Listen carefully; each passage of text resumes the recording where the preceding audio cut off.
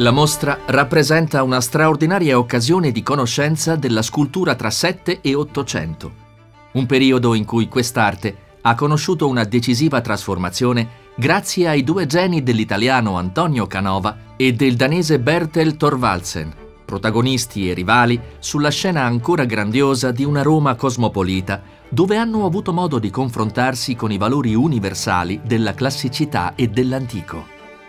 Furono infatti riconosciuti e celebrati come i classici moderni, capaci di trasformare l'idea stessa della scultura e la sua tecnica, creando capolavori immortali che sono diventati, anche perché continuamente riprodotti, amati e popolari in tutto il mondo. Ed è proprio sulla tecnica che si concentra la nostra attenzione.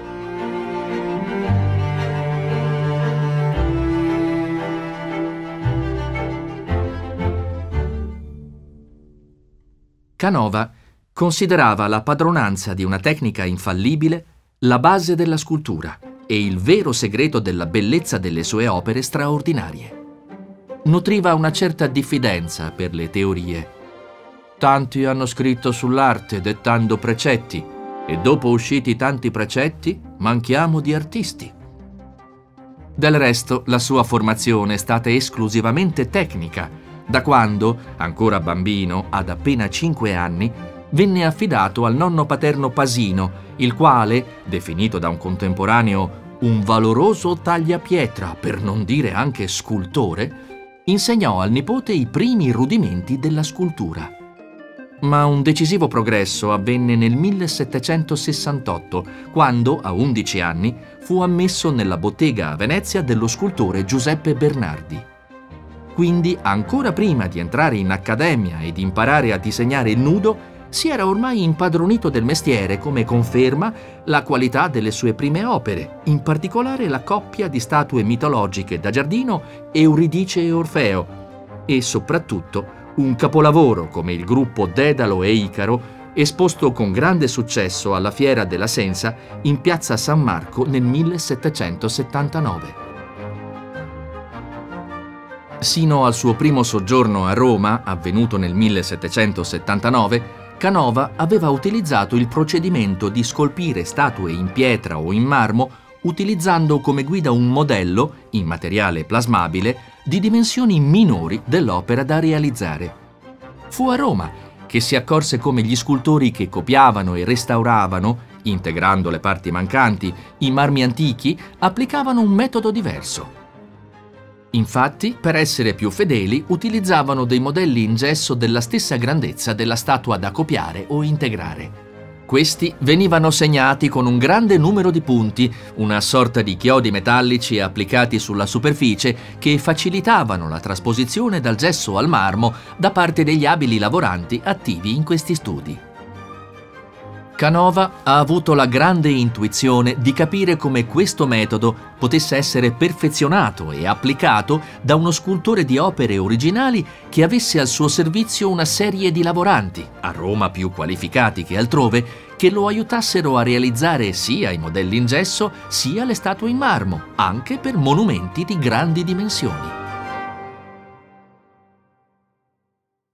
È stato infatti a partire dal celebre monumento funerario di Papa Clemente XIV per la Basilica Romana dei Santi Apostoli che ha cominciato, con un risultato straordinario che ha destato l'ammirazione generale, ad applicare i nuovi procedimenti che avrebbe poi usato per tutta la vita e che avrebbero rivoluzionato, utilizzati anche dal rivale Thorvaldsen e dai loro numerosi seguaci italiani e stranieri, la tecnica della scultura in tutto il mondo. L'unica testimonianza visiva fedele dello studio di Canova a Roma e della sua organizzazione è un grande acquerello di Francesco Chiarottini, eseguito probabilmente nella primavera del 1786. Si tratta proprio del periodo in cui era in lavorazione il grande monumento papale, di cui si vedono i modelli in gesso e la versione in marmo, in corso di lavorazione da parte dei suoi aiutanti, delle singole statue che lo compongono. Quelle in particolare del pontefice benedicente e della figura allegorica della temperanza appaiono ancora sovrastate dai telai da cui pendono i fili a piombo per prendere meglio le proporzioni. Un giovane collaboratore tiene i capi della corda con cui far ruotare uno strumento fondamentale come il violino o asta da petto. Mentre grandi compassi, che venivano usati per misurare le distanze tra i punti che erano applicati ai modelli in gesso, giacciono accanto al modello della figura della mansuetudine collocata a sinistra. Davanti, appoggiata ad uno sgabello, vediamo la mano del pontefice, che veniva dunque lavorata singolarmente, perché ciascuno dei numerosi aiutanti era specializzato nell'eseguire, in una perfetta divisione del lavoro, un particolare dettaglio della statua. Questa fase in cui il marmo veniva sbozzato e portato verso la rifinitura non era che un momento di un lungo processo creativo che si svolgeva nel grande studio, che quando Canova era ormai affermato si componeva di molti locali, tutti pieni di modelli e statue, in cui era permesso a tutti l'entrata. La fase finale, risolutiva e misteriosa della rifinitura del marmo, avveniva in una camera appartata, riservata solo a Canova, al termine di un percorso iniziato, in molti casi anche anni prima, con la ideazione dell'opera. Dopo aver pensato a un soggetto, Canova fissava le sue prime intuizioni in una serie di disegni, da cui traeva poi ispirazione per realizzare i bozzetti in creta che dovevano dare una prima idea della composizione plastica.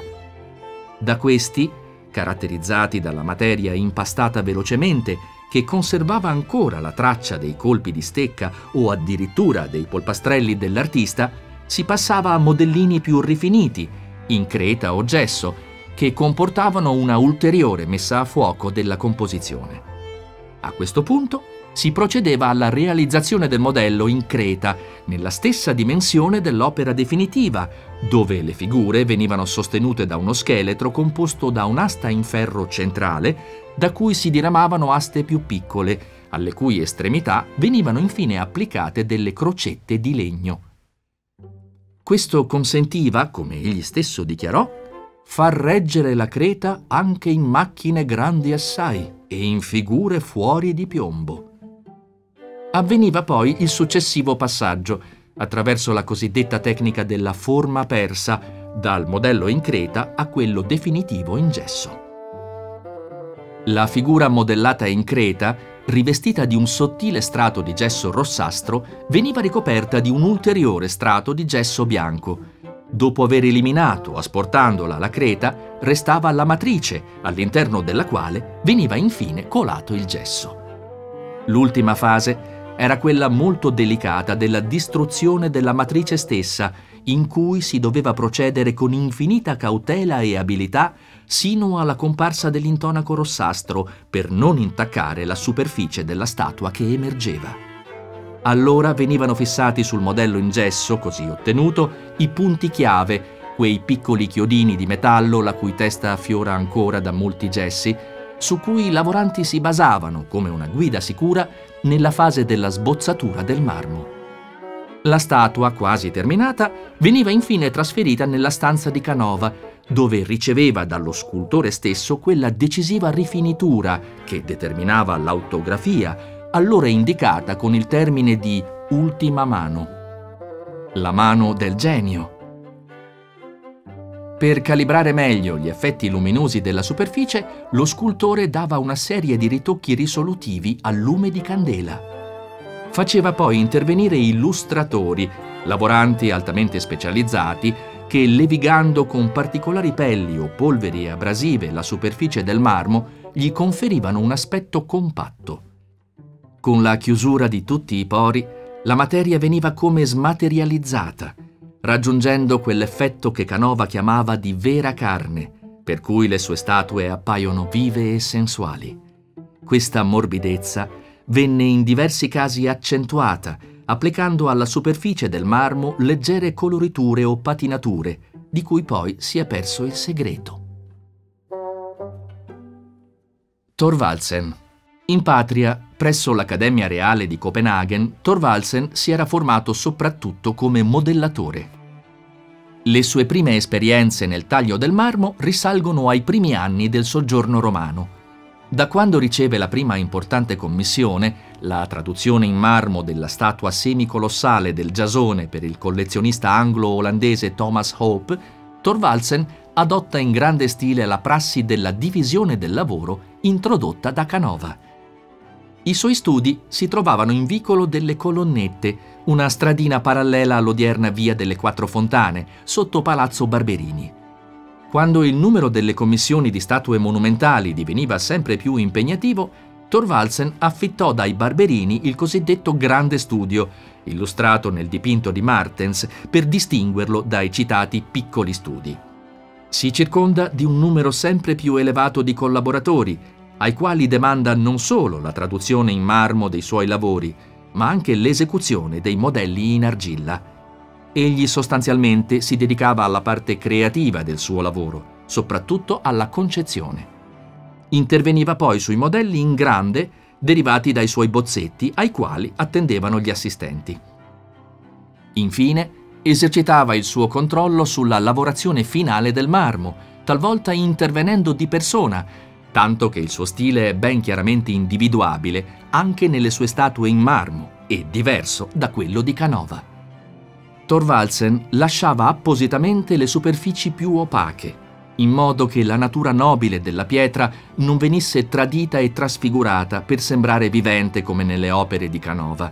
Il grande studio ospitava la collezione dei modelli originali dell'artista.